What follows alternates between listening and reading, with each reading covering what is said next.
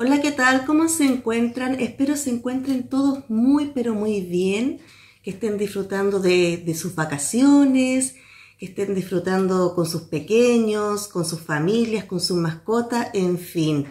El tema de hoy día es muy, pero muy interesante. De hecho, eh, me han estado pidiendo en los comentarios que haga un video referente a este tema y también eh, clientes que tengo que también me han consultado lo mismo. Bienvenidos a mi canal Chitas Suculentas, mi nombre es Jessica y hoy como les dije les voy a hablar un tema muy importante. ¿Y cuál es? ¿Por qué nos cuesta tanto combatir la famosa y molesta cochinilla algodonosa? Y también los pulgones. Les voy a decir varias causas por qué cuesta tanto.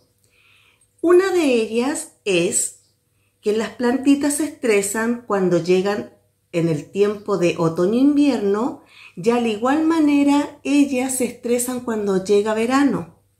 Hay un cambio de estación, lo cual ellas se incomodan por adaptarse a las nuevas temperaturas y sufren un estrés, por lo cual son más susceptibles a que la cochinilla algodonosa las ataque. Pero cuando más cuesta, chicas y chicos, combatir esta molesta plaga es en verano. ¿Y por qué les digo que en verano? Porque en el invierno, al menos mi experiencia, se me ha hecho mucho más fácil, porque no tenemos un insecto que es muy molesto y por causa de ese insecto es que en periodo de verano nos cuesta tanto combatirlas. Y en invierno este insecto no se encuentra porque se encuentra invernando, ya que trabajó todo el verano para guardar alimentos, para proveerse para todo el invierno y ustedes más o menos deben estar entendiendo a qué insecto me refiero. No crean que ustedes están haciendo algo mal, no crean que no les están echando el tratamiento adecuado para sus suculentas, para sus plantitas, sino más es este molesto bichito que es un poco oportuno, eh, no, inoportuno, no oportuno, y mm, se alimenta del popó que hace la cochinilla algodonosa. Y como se alimenta del popó de esta cochinilla, él se va a otras plantitas que están sanas y va pegando toda esta plaga por todas nuestras plantitas, al igual que también lo hace con el pulgón. Ya muchos deben saber a qué insecto me refiero. La famosa hormiga.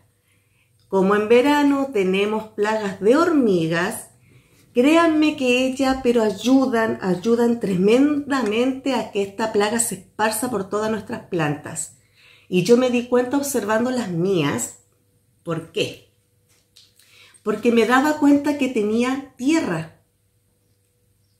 Varias suculentas me pillé en rosetas, ya sean eh, echeveria o ya sean grastoverias o grastopétalus, también las echeverias agavoide, eh, las crestadas que son chiquitas, me daba cuenta que tenían mucha tierra arriba. Yo decía, ¿por qué tienen tierra? Las limpiaba y al otro día volvían a amanecer con tierra. Y ahí me pongo a observar muy de cerca, no sé si ustedes lo pueden ver, sí, ahí están moviéndose las hormigas. Y me di cuenta que todas las plantitas, todas mis echeverias, mis suculentas que tenían hormiga y esa tierra, tenían también la cochinilla algodonosa. Y ahí es donde yo me hacía la pregunta y también me las respondía yo misma diciendo, con razón me ha costado tanto este año combatir la famosa y molesta cochinilla algodonosa. Y es por causa de las hormigas. Ellas también em, transportan los pulgones, sobre todo los que no tienen alas, porque existe la, la variedad de pulgones que tienen alas y las que no. Ellas también se alimentan de lo pegajoso que dejan los pulgones en las hojas y transportan estos que no tienen alas en su espalda a otras plantas, a otros rosales y también nos cuesta en algunas oportunidades combatir esta plaga. Así que dos temas muy importantes el día de hoy. ¿Por qué nos cuesta tanto combatir la, molesta cochinilla algodonosa y también el pulgón? Decirles que yo a ellas las limpio con el famoso jabón potásico, que este lo compré por Mercado Libre, que se los mostré en un video que hice hace unos meses atrás, el año pasado. Combate la araña roja, los trips, la mosca blanca, la cochinilla algodonosa, en fin. Y también es un muy buen fertilizante para ayudar a que la plantita esté más firme, más resistente, para que no vaya a decaerse, no se vaya a enfermar, que tenga más fuerza para combatir estas molestas plagas. E, ellos, este producto se echa cuando ya está anocheciendo, porque ya sea el alcohol que quieran utilizar para limpiar sus plantitas, ya sea cualquier otro eh, fungicida natural, todos se tienen que echar cuando no hay sol para que no se quemen sus plantas. Entonces eh, yo este producto lo, lo, aplico cuando está anocheciendo, exceptuando el día de hoy que hay sol, pero estoy dentro de la casa, entonces aquí está en sombra y está fresquito que voy a poder aplicarlo para que ustedes lo vean. Y este producto se aplica 5 eh, cc en un litro de agua. Yo aquí en este rociador apliqué media tapita del producto para rociar la, la echeveria para que ustedes vean cómo les voy a ir sacando las hormigas, la, la cochinilla algodonosa igual y como también voy a echarle en el sustrato.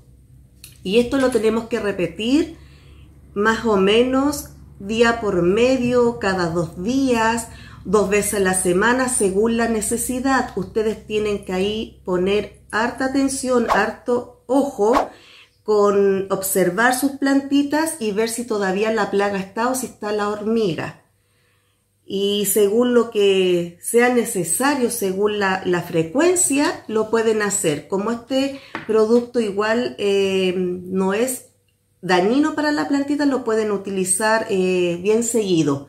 No así como con el alcohol. El alcohol hay que hacerlo una vez a la semana y también tener mucho cuidado porque el alcohol algunas eh, variedades de plantitas igual las quema, aunque ustedes la apliquen al anochecer. Igual hay algunas plagas, por ejemplo como los genium y algunos tipos de, de cheverias que no resisten el alcohol, aunque esté diluido, las quema igual. Y se los digo por experiencia porque lo he hecho, he visto tutoriales, también he echado eh, ajo con agua y hay plantitas que no, que se resienten. Pero con el que mejor me ha ido es con el jabón potásico, que no las ha quemado y no le ha hecho absolutamente nada malo. Yo voy a limpiar la plantita con este pincel. Le voy a sacar la tierra que ustedes ven que tiene ahí. Les vamos sacando toda la tierrita con el pincel.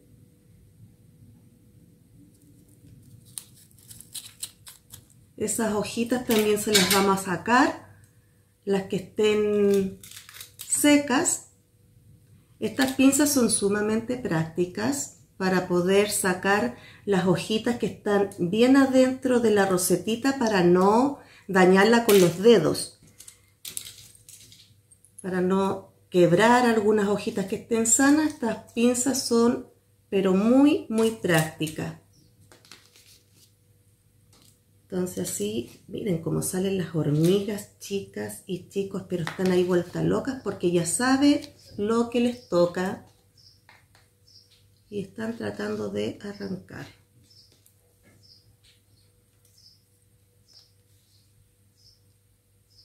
Y ahí sería, ya saqué las hojitas dañadas, ahora voy a limpiar, bueno, a ver si me puedo acercar un poquito más para que lo aprecien. Aquí algunas echeverias que ustedes traten al, pasarle el pincel, si es que a ustedes les está pasando lo mismo y vean tierra en su, en su plantita, ustedes van a decir, pero se le va a salir la pruina. Créanme que no queda de otra que hacerlo para poder combatir la plaga, porque o si no nos va a terminar de, de dañar la roseta y se nos va a terminar muriendo. Se va a debilitar mucho, así que yo prefiero sacar esto aunque se le salga un poquito la pruina, como les dije, sacarle toda la tierra para poder eh, echar el, el jabón potásico.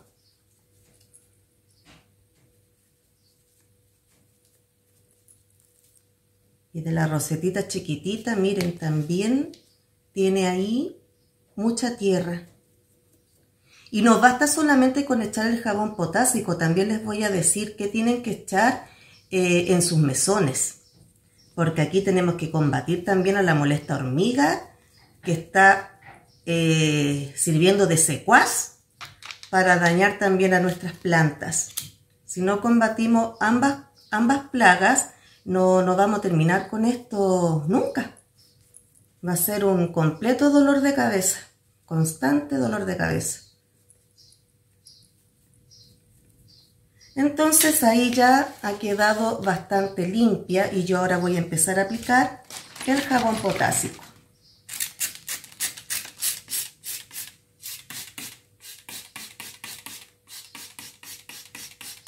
Lo echamos por toda la roseta, por entre medio de todas las hojitas.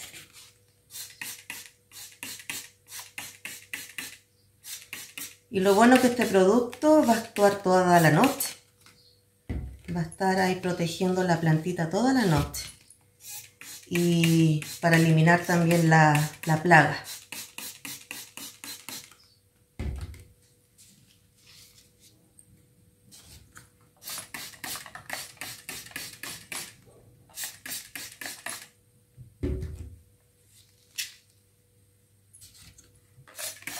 Y en el sustrato igual. También aplíquenle en el sustrato para que también ayude a nutrir la plantita y cualquier bicho que haya en el sustrato también lo va a combatir.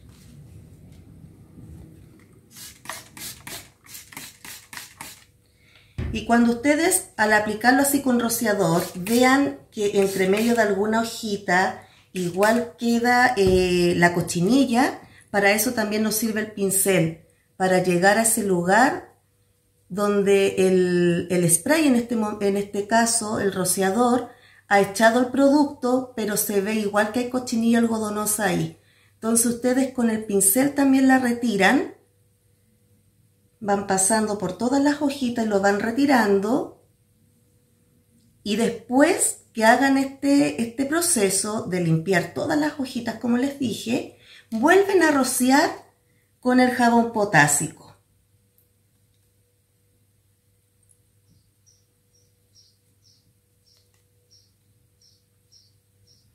Y acá en el tallito se le ve un poquito, al llegar abajo, también voy a pasar el pincel para extraerla. ¿Ven? Y así nuevamente volvemos a aplicar el jabón potásico. Este jabón potásico igual le sale bastante a cuenta porque yo lo compré ya hace bastante tiempo, más de 8 meses y rinde bastante.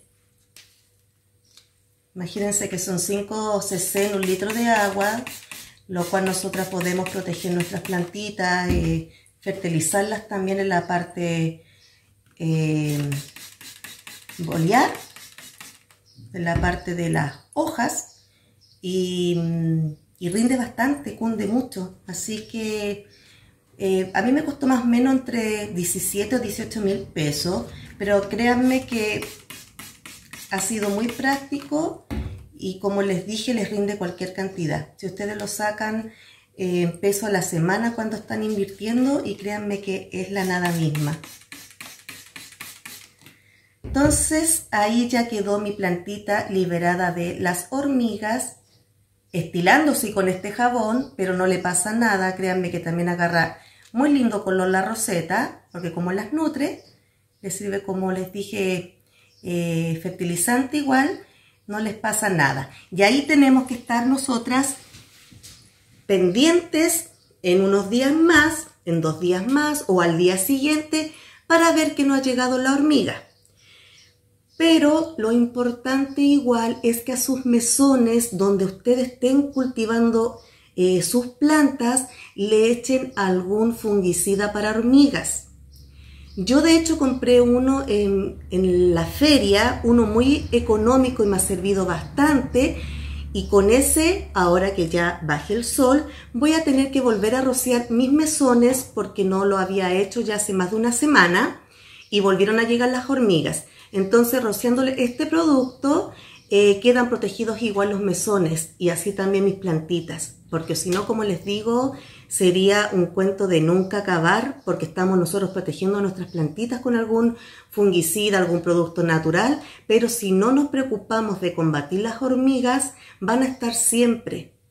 A mí, este año se contagiaron los eh, Aenium, los Serpinvivum, vieran cuánto han sufrido por el ataque de las cochinillas, por tener ellos sus hojitas tan juntas, pero la gran culpable es la, la hormiga. Y me di cuenta de eso y yo dije, les tengo que hacer un video para ellos para que se den cuenta, porque muchos de ustedes pueden pensar que están fallando en algo y no es así. Es porque la estación es complicada, en el verano está esta molesta plaga de las hormigas y por más que nosotros eh, tratemos de auxiliar nuestra plantita, si no combatimos la hormiga va a ser un trabajo no completo. Tenemos que atacar por ambos lados y créanme que les irá súper bien.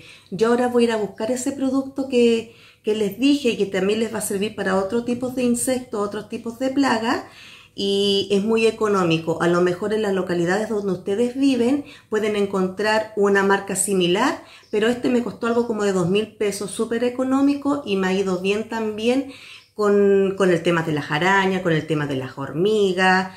De hecho, mató hasta una tarántula que yo quedé sorprendida cuando llego un día al mesón y veo una tarántula muerta. Así que el producto es súper bueno. Bajan todas sus plantitas de los mesones, aplican este producto que se ventile más o menos una hora y de ahí recién colocan sus plantitas. Lo voy a ir a buscar y vuelvo. Ya chicas y chicos, este es el producto que yo compré, como les dije, en la feria, me salió sumamente, económico y les cuento qué bichos molestos eh, elimina. Elimina las garrapatas, elimina las pulgas, las baratas, la araña de rincón, los chinches, las vinchucas y las hormigas. Miren ahí. Entonces es muy bueno. Si no, busquen uno que sea similar eh, para que les vaya bien en el tema de todos estos molestos bichos y para que sus suculentas, sus plantitas que ustedes cultivan con mucho amor no se vean tan afectadas y no las vayan a perder. Espero la información les haya gustado. Si necesitan otro video, escríbanme en los comentarios. Más adelante se viene también cómo combatir las molestas también tijeretas. Y así vamos a ir hablando de muchos temas importantes a través de mi canal Tita Suculenta. Acuérdense que mis videos están hechos con mucho cariño, hablo a través de mi experiencia, no soy experta para nada en el tema, pero por cualquier conocimiento, cualquier observación nueva que yo vea en mi jardín, se la quiero transmitir a ustedes para que puedan defender sus plantitas. Me despido con un beso lleno de cariño para cada uno de ustedes. Mm, cuídense y nos veremos en otra oportunidad, así Dios lo permite. Chao, que estén bien.